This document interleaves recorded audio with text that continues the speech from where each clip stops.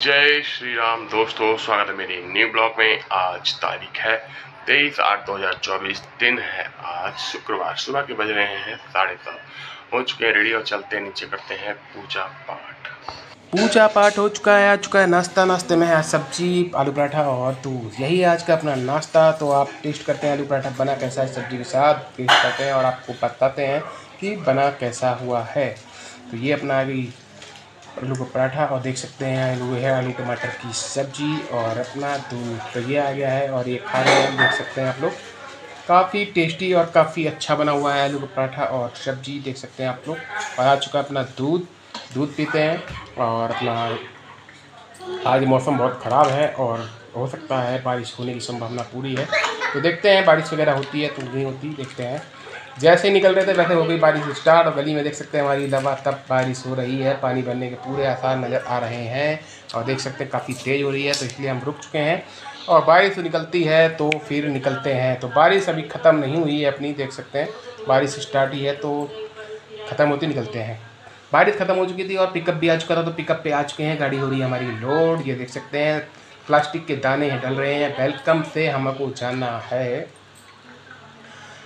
अशोक विहार। तो अशोक विहार के लिए गाड़ी अपनी हो रही है, लोड देख सकते हैं आप लोग।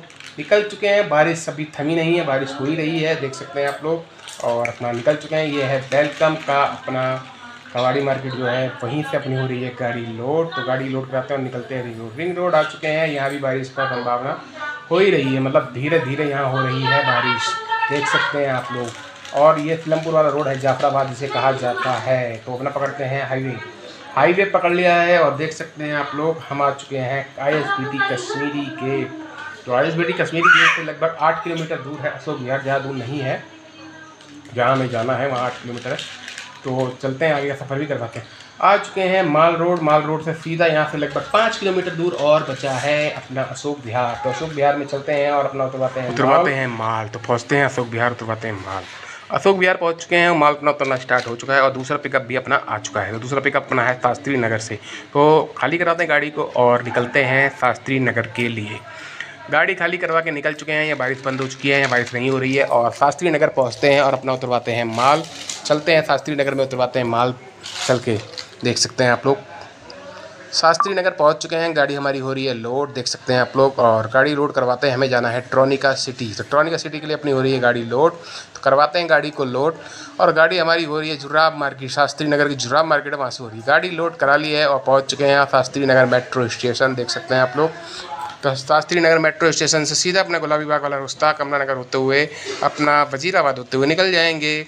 तो ये देख सकते हैं, आ चुके हैं हम कमला नगर वाले रोड पे कमला नगर से सीधा अपना ये अपना गुलाबी बाग वाला जो रास्ता है, वही हमने पकड़ा हुआ है और सीधा अपना निकलेंगे यहाँ से वजीराबाद। वजीराबाद में ही अपना उतरेगा माल।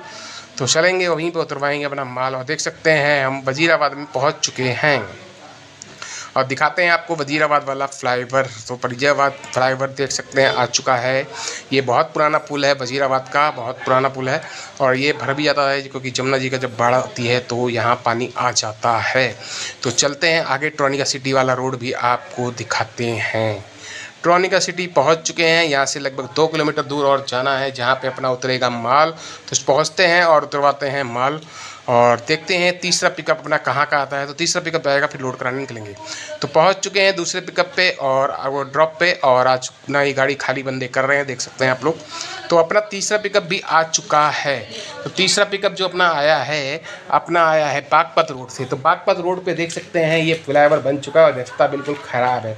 यहाँ का रास्ता बिल्कुल नहीं बना पा रहे हैं। यहाँ से लगभग चार किलोमीटर दूर और जाना है हमें, जहाँ से अपनी होगी गाड़ी लोड पहुँच चुके हैं बागपत और गाड़ी हो रही है हमारी लोड गाड़ी लोड करवाते हैं, हमें जाना है सीलमपुर। घर की तरफ़ की ड्यूटी मिल चुकी है, गाड़ी हो रही है लोड तो ये अपनी है फैक्ट्री दिखाते हैं यहाँ के थोड़ा सा और आपको। ये देखिए, ये जो बच्चों की जो टेबल होती है लिखने वाली, वो है। वहीं लोड होगी हमारी गाड़ी में ये बंदे देखो लोड करा रहे हैं, लगभग आधी गाड़ी लगभग हो चुकी है लोड और बाकी लोड करवा रहे हैं। तो ये तख्ती जैसे कहते हैं, वही है ये।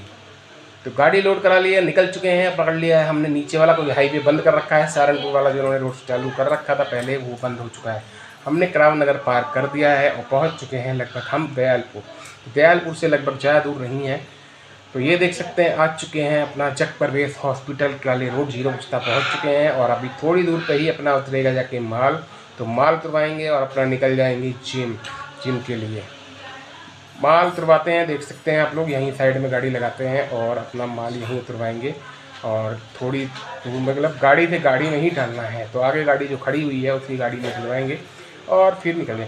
गाड़ी खाली करवा दी थी, जिम में आ चुके हैं और एक्सरसाइज अपनी स्टार्ट देख सकते हैं साइकिल चला, पहली एक्सरसाइज अपनी साइकिल की है तो मारते हैं एक्सरसाइज और निकलते हैं और लेते हैं टाइट वाइट चल के, खराब करके एक्सरसाइज एक्सरसाइज खत्म करके चले गए थे और अपनी डाइट ले रही थी। केले वगैरह आज हमने खा लिए हैं और ये ब्लॉग हम यहीं एंड करेंगे। मिलते हैं नेक्स्ट ब्लॉग में। तब तक के लिए शुभ रात्रि जय हिंद।